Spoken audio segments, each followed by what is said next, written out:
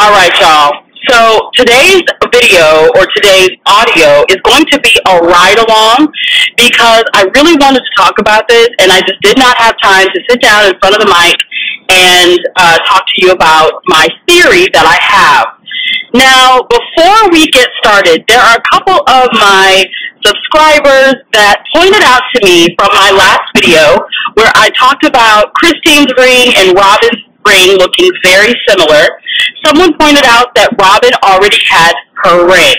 I totally appreciate that, and, and yes, we do want to report true news here on this channel. But I'm going to go ahead and say that at some point during the time of them living together, um, Christine probably pointed out that that was her style, and Robyn hurried up and got the same style before she could get it, because we don't like Robyn. All right, anyway, let's jump into the theory of why I believe Robyn is planning to leave Kody sooner than I think we might even believe. So let's go back in, into history and think about the book Becoming Sister Wives. I haven't read the book in a very long time, but I do remember the chapter about Robyn and some things that stuck out to me. I'm sure that a few creators and YouTubers have pointed out that Robyn in the book talks about how after her marriage to David, she did not care, and, and this was David Jessop, not David Woolley, because David Woolley would never have her. Um, after her marriage to David, she was looking for the next relationship to be one that took care of her and her children. She did not care about him being a handsome man. She didn't care about the romantic part of the relationship. What she cared about is what he could offer her, right? So she finds Kody. Now, let's look at it from the perspective of why choose Kody because we've heard they didn't have a whole lot of money, blah, blah, blah. But just remember, Kody was married to Christine, who was basically church royalty, right? I think that it was probably talked throughout the church that this family was going to get a show on TLC, right? Because the church was not really happy with them doing this show. So of course, if you have to go to the elders for other things, and I don't know if they're called elders, so please forgive me, um, you have to go to the heads of the church and ask about everything that you're going to do in your life as the, when you're in this faith. So why wouldn't you have to go to them to ask, hey, is this okay? We're thinking about doing this. Even though they got the answer that, you know, we're not really okay with it, of course they did go ahead with it. I'm sure that there was talk throughout the church about this family getting a TV show because any us who go to church know if you want your business in the street, tell it to somebody at church, child. There's always a deaconess, there's always a mother of the church. There's always an usher, an usher who is willing to tell your business, even if it's in a phone call to sister so and so who ain't supposed to say nothing. So I'm sure that there was talk throughout their church about how this was going to happen. In walks Robyn, who places herself at a dance where Robyn and Mary are. Mary's like, hey, she's cute. I'm having a few troubles with my other sister wives. Maybe if I bring this sister wife in, we can be best buddies and he can be happy because we're not really that happy. Blah, blah, blah. Robyn says, okay, cool, this is going to work out. Now, I don't know if she really thought he was all that handsome. We've seen pictures of Kody in the time that they met. He wasn't really that great looking to me, but to each his own. What she saw was the dollar signs, not the blue in his eyes. Okay, stay with me. So now let's jump forward into, also in the book, Robyn talks about how Janelle offered for her to move in with Janelle when she was going to move from where she was to be closer to the family. She says that her tax return and some big sale that Kody made allowed her to move into her own apartment closer to the family in Lehi. She never had any intention of being close to these women. She was close to Cody for a purpose. These other women did not serve her, po- her purpose. So let's jump a little bit further. Now we're into the family. Now we're into moving to Las Vegas separate houses, still on a cul-de-sac, but I can I can still look like I'm playing the part. But in the time that they were not on the cul-de-sac and they were pretty distant, she had time to worm her way in, make Kody her best customer. Her mother had taught her what she needed to do. I believe she talks about this. Her mother told her what she needed to do to make sure that she felt like she was the one in the precious position. She was the wife. Can't call yourself a number one wife.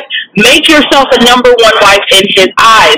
For her, this worked out much better than she planned because the number one wife in Kody's life on paper was starting to pull away. He had said he wasn't in love with Christine and Robyn. He's now admitted that when he met Robyn, he wept for months and months. Again, rewriting history, which brings me to the comment that she made about there's a lot of rewriting history that happens. You rewrite history too, Robyn. Don't act like you don't. All right, so now we've got them separated in Las Vegas. We move to Flagstaff, right? I'm moving faster than I think the series is. If then the series is moving, they need to contact me. So we move to Flagstaff. We're still separate. It's still working out because none of the wives want to live in the big house. None of them really care about living close together. So now COVID hits. Now we have a valid reason to keep Kody separate from everyone else. She's got to ensure that she's got him on the hook because now is the time that we need to start planning planning a possible escape because we see that there are problems with Christine. We know that he doesn't love Mary, and he does say that in an upcoming episode that Robyn knew where he stood with Mary, right? So now we got to start planning. So here are the excuses that she's going to use. My kids have diseases or conditions that can't allow anyone with COVID or a cold to be around. You got to stay separate. He can't be away from the younger kids more than three days or they start asking for him. So you've got to stay separate, right? We know all the excuses. I don't have to go through all of them. Kody buys into it because remember, he's her best customer. She has treated him like the king that he wants to be recognized as.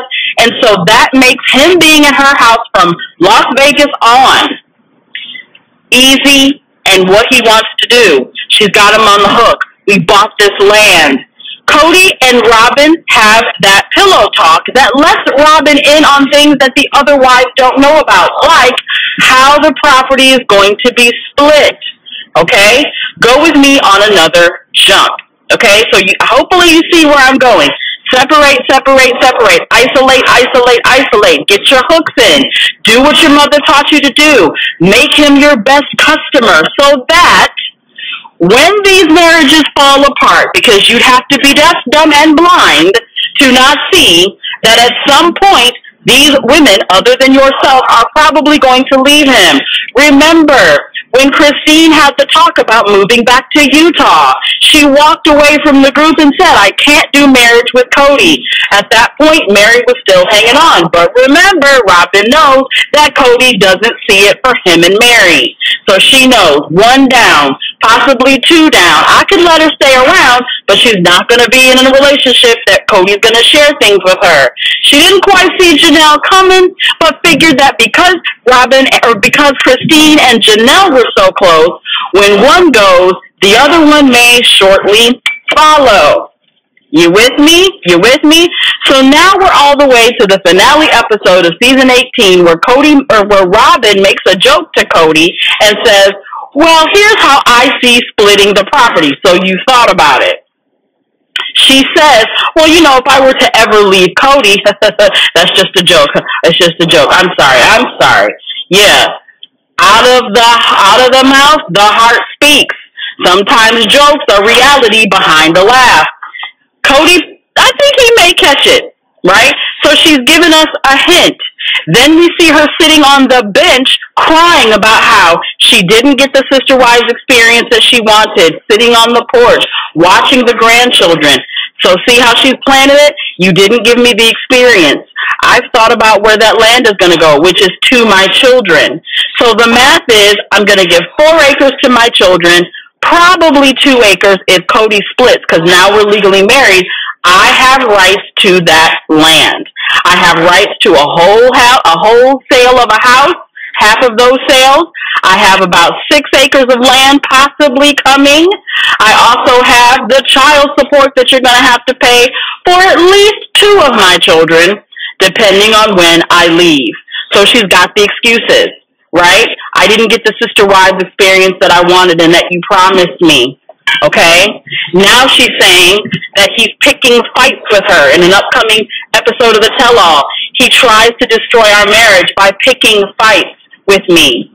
So she's got it planned out. You know, she has said a few things that really are going to make it easy. If you listen to her, she's given us all the clues. We just need to pay attention. We just need to pick up what Robyn is putting down.